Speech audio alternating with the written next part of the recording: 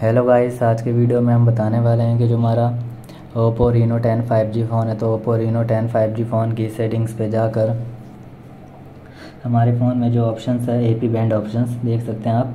तो A P band options के ज़रिए आप कैसे अपने फ़ोन में हॉटस्पॉट की स्पीड को इनक्रीज़ कैसे कर सकते हैं ए पी बैंड ऑप्शंस के ज़रिए तो आज हम वीडियो में बताने वाले हैं कि ए पी बैंड ऑप्शंस के ज़रिए हॉटस्पॉट की स्पीड को कैसे इनक्रीज़ कर सकते हैं ओप्पो फ़ोन में और आप इसका यूज़ कैसे कर पाएँगे तो आज हम बताने वाले हैं कि ए पी बैंड ऑप्शंस के ज़रिए हॉटस्पॉट की स्पीड को कैसे इनक्रीज़ कर सकते हैं और फास्ट कर सकते हैं। तो वीडियो स्टार्ट करने से पहले हमारे चैनल को लाइक करें सब्सक्राइब करें और साथ में ही बेल आइकन दबाना ना भूलें।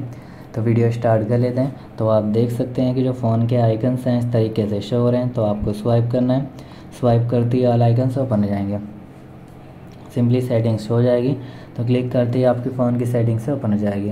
तो कैसे आप हॉटस्पॉट की स्पीड को इंक्रीज़ कर सकते हैं? तो सिंपली आपको नेटवर्क इंटरनेट सेटिंग्स पे जाना होगा सबसे पहले तो।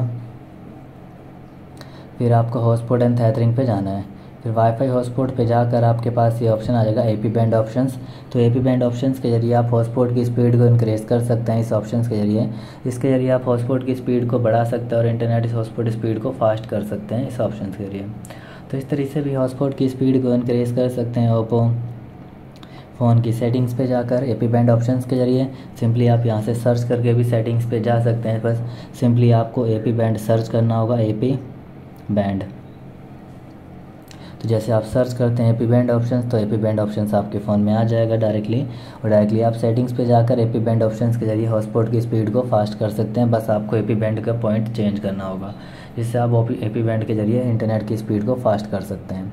तो इस तरीके से ए पी बैंड के ज़रिए इंटरनेट हॉटस्पॉट स्पीड को इंक्रीज़ कर सकते हैं। तो आपको वीडियो अच्छी लगी तो लाइक एंड सब्सक्राइब करें बेल आइकन दबाना ना भूलें।